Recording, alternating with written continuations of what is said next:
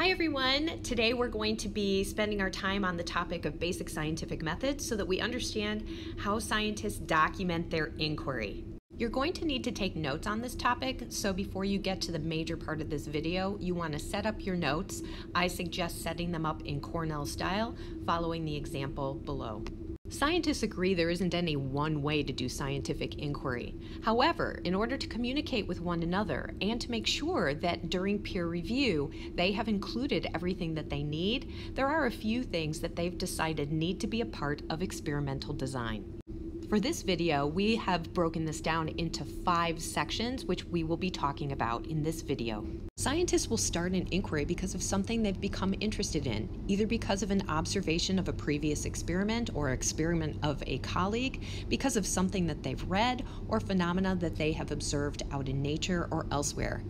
In order to begin their investigation, they take their observations and they create a problem question, something that is simple and something that is tested testable.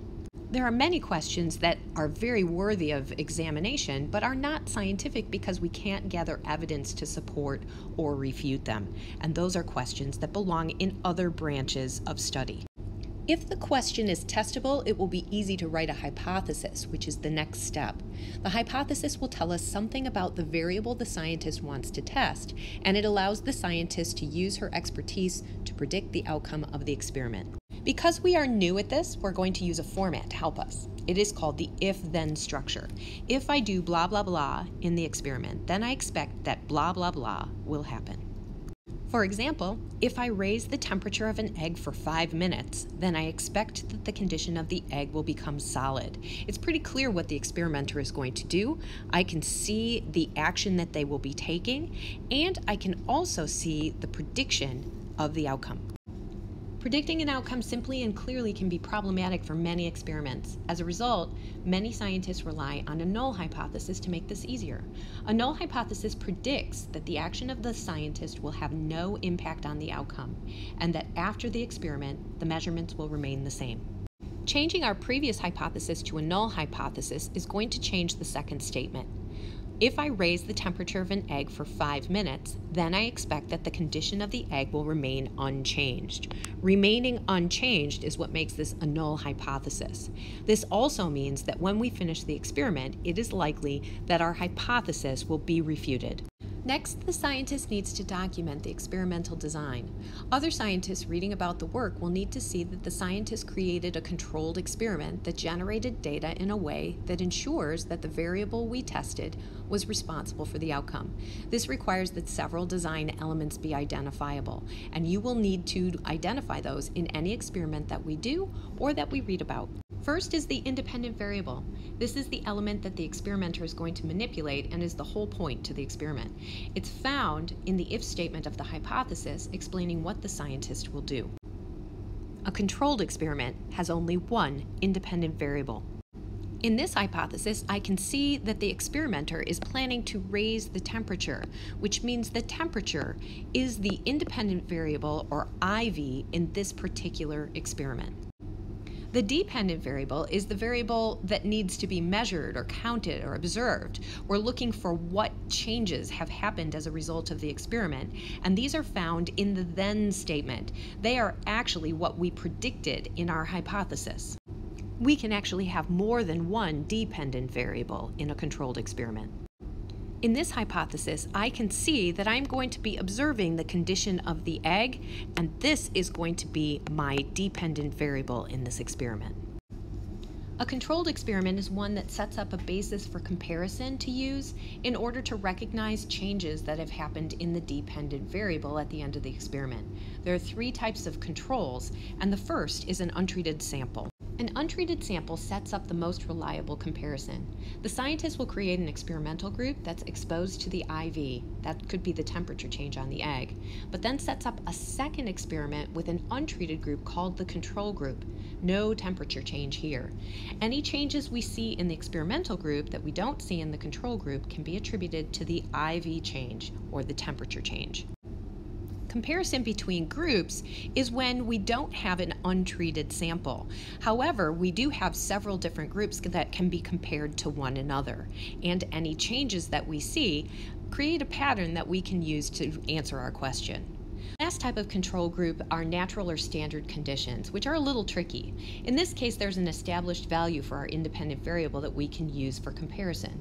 For instance, 350 degrees is the recommended standard condition for baking a cake. If I change the temperature as my independent variable, I would then compare my results to the standard temperature of 350 degrees.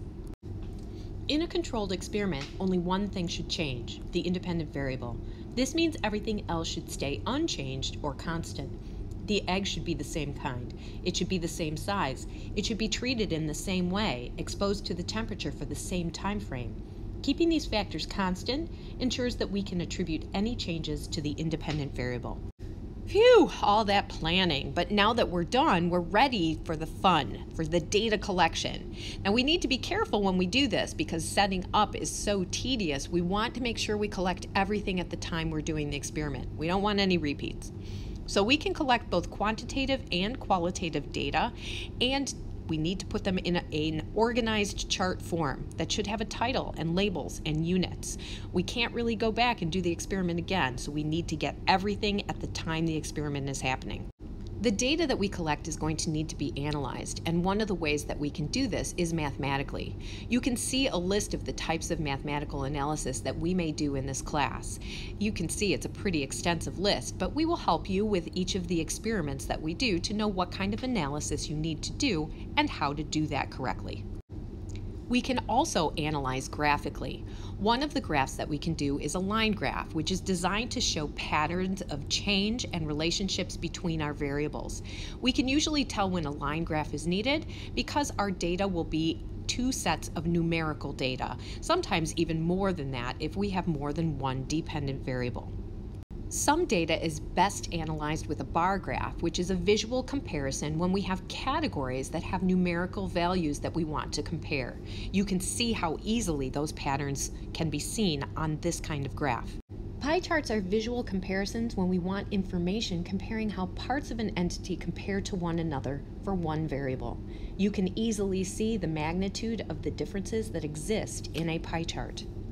When all of the analysis is complete, we have what we need to state our claim, which is the answer to our experimental question. Scientists generally then follow this with a long explanation that supports the claim we will only be asking you to write a paragraph. Because we are novice scientists, we will be using the CER format as our guide. It should start with a clear claim statement and be followed by a methodical presentation of evidence and reasoning using an established scientific rule.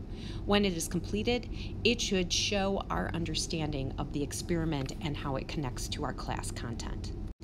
Observation, hypothesis, experimental design, data collection and analysis, and conclusion and reasoning. These are the steps of the scientific method.